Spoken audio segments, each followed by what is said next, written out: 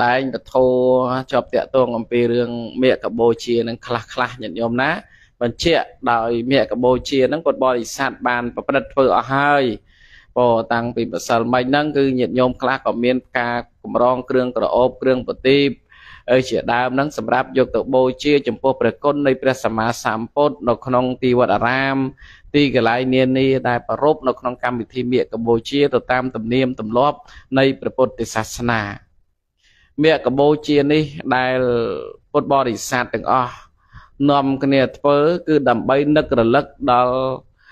សម័យកាលទាំង3បានន័យថានឹករលឹកដល់កាលទាំង3នៃព្រះសម្មាសម្ពុទ្ធទី1គឺនឹកដល់ថ្ងៃដែលព្រះសម្មាសម្ពុទ្ធព្រះអង្គទ្រង់បានដាក់ព្រះជន្មយុសង្ខារព្រះអង្គដាក់ព្រះជន្មយុសង្ខារនៅថ្ងៃ15កើតខែមិញឆ្នាំម្សាញ់ នៅក្នុងការនោះព្រះសម្មាសម្ពុទ្ធព្រះអង្គនិមន្តទៅអឺនៅក្នុងក្រុងបាវ៉ាហ្នឹងព្រះអង្គនិមន្តទៅអឺចិត្តនឹងដល់ថ្ងៃ15កើតខែពិសាសល់តែ3ខែទៀតទេនឹងឯងព្រះសម្មាសម្ពុទ្ធព្រះអង្គសល់តែ3ខែទៀតគឺបច្ចុប្បន្នព្រះអង្គចំនួន80ភាសា80ឆ្នាំញាតិញោម នៅភាសាទី45ហ្នឹងព្រះអង្គបានអឺនិមន្តទៅរួមជាមួយនឹងព្រះអនន្តនឹងឯងបានគង់នៅក្រោមដើមឈើមួយហ្នឹងព្រះអនន្តក៏បានជាធពថាបំរើនៃព្រះសម្មាសម្ពុទ្ធនៅពេលនោះព្រះអង្គអស់កម្លាំងញាតិញោមព្រោះព្រះអង្គបច្ចុប្បន្ន80ឆ្នាំហើយគឺ មាននៅព្រោះវរកាយនឹងកម្លាំងថមថយទោះបីជាព្រះអង្គរូបកាយព្រះអង្គនៅតែល្អដូចដើមក៏ដោយប៉ុន្តែកម្លាំងព្រះអង្គនៅតែថមថយញាតិញោមនឹងចរិយាណាបងនឹងឯងពេលនឹងឯងព្រះអនន្តបានអឺបំរើនៃព្រះសម្មាសម្ពុទ្ធគ្រប់ហើយក៏ឈៀងចេញពីទីហ្នឹងទៅសម្រាក នៅ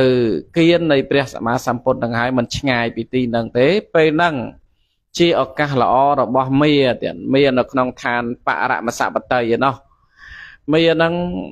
បានចោះមកអរតនីព្រះសម្មាសម្ពុទ្ធ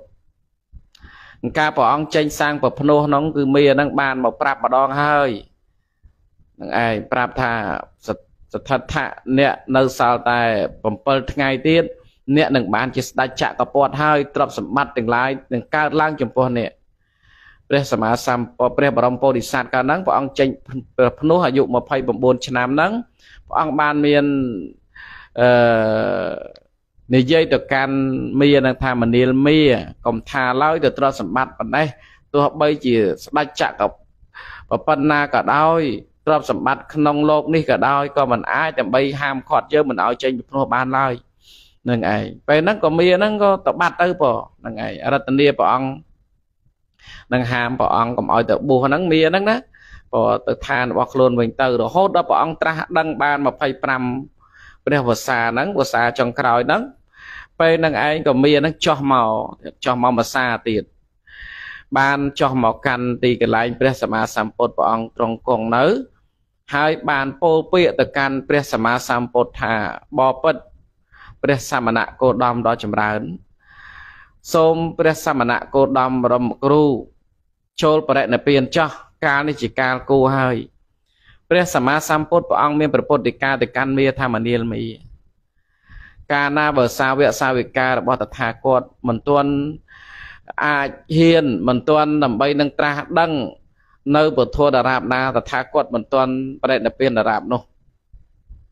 ពេលនោះបានមានមានចិត្តបាបនឹងបានលើកឡើងថាបបិទ្ធព្រះអង្គឥឡូវនេះសាវករបស់ព្រះអង្គគឺជាអ្នកបានដល់ធัวហើយព្រមដល់ធัวហើយសូមព្រះអង្គទ្រង់ប្រណិពានចោះនឹងអរតនីប្រពុតណាញាតិញោមមីហ្នឹងណានឹងផ្ចាញ់ព្រះអង្គហើយខ្លាចនៅក្រោមអំណាចរបស់ខ្លួនហ្នឹងក៏បានអរតនីព្រះអង្គឲ្យប្រណិពានហ្នឹងព្រះសម្មាសម្ពុទ្ធព្រះអង្គមានពុទ្ធិកាទៅកាន់មេធម្មនាលមីត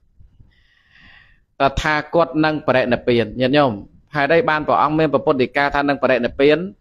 ដោយព្រះអង្គមាននៅបាបកម្មមួយធ្លាប់បានសម្លាប់នៅយៈដែលមានចិត្តធោអាយុត្រឹម80ឆ្នាំញាតិញោមបាបកម្មសម្លាប់គេហ្នឹងត្រឹមគេហ្នឹងមានអាយុត្រឹមតែ80តែប៉ុណ្ណោះបើសម្លាប់ទៅបានយៈហ្នឹងពោលថាយើងអាយុ80ឆ្នាំ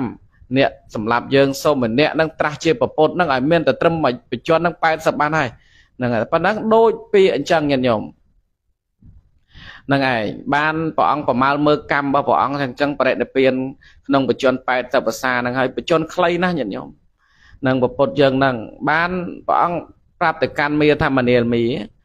អំណះតទៅ3ខែទៀតតថាគតនឹងបរិនិព្វានហើយ នៅថ្ងៃ15កើតខែវិសាខនឹងឯង ញាតិញោមអើយគ្រាន់តែប្រពុតព្រះអង្គមានប្រពុតដីកាតែប៉ុន្មានប៉ុណ្ណេះផែនដីទាំងឡាយរំពឹកញាប់ញ័រហាក់បីដូចជាមានចិត្តវិញ្ញាណលើកឡើងថាបបិទ្ធព្រះអង្គដ៏ចម្រើនខ្ញុំព្រះអង្គអាចត្រួនៅភ្នំទាំងឡាយធំធំត្រួនៅទឹកទាំងឡាយបានប៉ុន្តែมันអាចត្រួនៅប្រគុណព្រះអង្គបានឡើយបបិទ្ធព្រះអង្គដ៏ចម្រើនពេលនេះជាពេលព្រះអង្គបរិនិព្វានហើយញាតិញោមផែនដីក៏រំពឹកញាប់ញ័រពេលហ្នឹងញាតិញោម ហ្នឹងហើយធ្វើឲ្យអឺកើតនៅកលាហលកើតឡើងបានន័យថាការភ្ញាក់ផ្អើលពពួកទេវតាទាំងឡាយហ្នឹងព្រមទាំងពពួកមនុស្សនឹងឆ្ងល់តែហេតុដូចហេតុដូចមិនដេចបានជាផែនដីនឹងរំពើកញាប់ញ័រហ្នឹងមួយវិញទៀតញាតិញោមផ្កាទាំងឡាយដែលធ្លាប់តែផ្កាទាំងឡាយដែលមិនធ្លាប់មានផ្កាណាប៉ុន្តែដើមទាំងឡាយដែលមិនធ្លាប់មានផ្កាហើយដើមឈើខ្លះដែលអត់មានផ្កាក៏ផ្កាទាំងអស់គ្រប់ដើមឈើទាំងអស់ញាតិញោម ការមន្ធាតុគឺធំធំប៉ិនប៉ិនកង់រតេះនឹងធ្លាក់ទៅលើអាកាសមកពេលនឹងឯងគឺថាធ្វើឲ្យកើតហេតុអស្ចារ្យនឹងឯងព្រះអនន្តនៅក្បែរហ្នឹងញាតិញោមឃើញរំពើកញាប់ញ័រផែនដីក៏ភ័យតក់ស្លុតពេលហ្នឹងពេលហ្នឹងក៏ដឹងហេតុអស្ចារ្យទៀតក៏បានចុះមកក្បែរបានមកក្បែរព្រះសម្មាសម្ពុទ្ធពេលនោះមីបានលឺអញ្ចឹងក៏បានបាត់ខ្លួនពីកន្លែងហ្នឹងទៅកាន់ទីឋានរបស់ខ្លួនវិញទៅ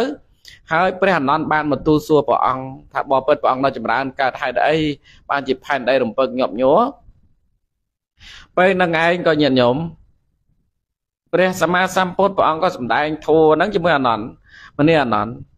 បុគ្គលឯណាអរតនីរបស់តថាអរតនីតថាគតឲ្យគង់អស់នៅជាយូរនៃកម្មបុគ្គលនោះអាចអរតនីតថាគតបាននឹងឯង ក៏ព្រះអនន្តពេលហ្នឹងមានបិទបាំងចិត្តមិនអាចដឹងបានអត់បានអរតនីព្រះសម្មាសម្ពុទ្ធបានព្រះសម្មាសម្ពុទ្ធមានព្រះពុទ្ធដីកា3ដងព្រះអនន្តនៅអត់ដឹងពេលហ្នឹងព្រះអនន្តជាសិក្ខបុគ្គលញាតិញោមសោតាបណៈបុគ្គលទេមិនទាន់ជាព្រះអរហន្តទេទោះបីជាឃ្លាំងធោចាំធោក៏ដោយបានព្រះសម្មាសម្ពុទ្ធព្រះអង្គទ្រង់បានមានព្រះពុទ្ធដីកាទៅកាន់អនន្តថាមនាលអនន្តអំណះតទៅ3ខែទៀតតថាគតនឹងបរិនិព្វានហើយ ព្រះអនន្តយំញាតិញោមយំក្បែរប្របាទទីព្រះអង្គថាព្រះអង្គព្រះអង្គហើយអីក៏បញ្ញាពេកម្លេះព្រះអង្គហើយទៅចោលខ្ញុំព្រះអង្គយំញាតិញោមយំក្បែរបាទទាព្រះអង្គហ្នឹងបានព្រះសម្មាសម្ពុទ្ធព្រះអង្គសម្ដែងតែមនាលអនន្តតថាគតចាស់ហើយព្រះបីដូចជារទេះចាស់ដែលគេអបដោយឫស្សីយ៉ាងណាមិញតថាគតមានជ្រាហើយมันអាចដើម្បីនៅបានយូរទេមនាអនន្តសូមអ្នកកុំប្រមាថឡើយ ពេលហ្នឹងញាតិញោមផែនដីទាំងឡាយរំពឹកញាប់ញ័រมันអាចត្រួនៅប្រគុណនៃព្រះសម្មាសម្ពុទ្ធបាន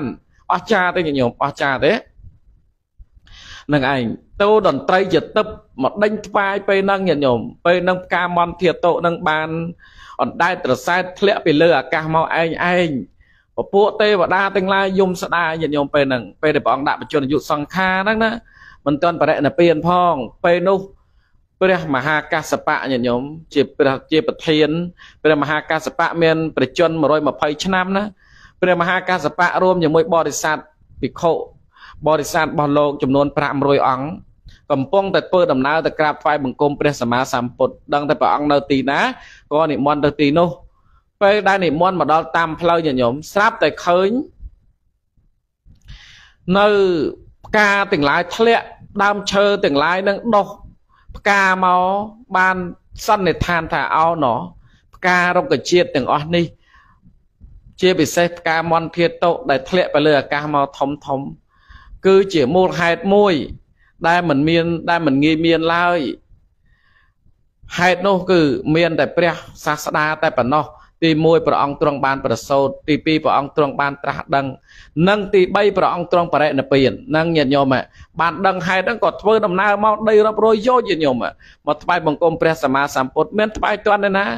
ញាតិញោមពេលដែលព្រះអង្គទ្រង់ដាក់បញ្ជនអាយុសង្ខារទៅ3ខែទៀតញាតិញោមរំពីខែមេបគុណចែកភាសា3ខែហ្នឹងញាតិញោមព្រះអង្គបរិនិព្វាននៅក្នុងទីក្រុងកុសិនារាព្រះអង្គបរិនិព្វាននៅក្រោម ដើមរាំងហ្នឹងហើយពេលហ្នឹងក៏ត្រូវការបូជាប្រភ្លើងឲ្យរឿងរ៉ាវច្រើនណាស់ពេលដែលព្រះអង្គទ្រង់បរិនិព្វានហ្នឹងនឹងឯងនឹងសម្ដែងបរិនិព្វានសោតហ្នឹងនៅពេលក្រោយគាត់នឹងចង់បញ្ជាក់ថាពេលហ្នឹងព្រះអង្គដាក់បញ្ជនយុសង្ខារនឹងឯងធ្វើឲ្យផែនដីរំពឹកញាប់ញ័រអស្ចារ្យណាស់ញាតិញោមហើយ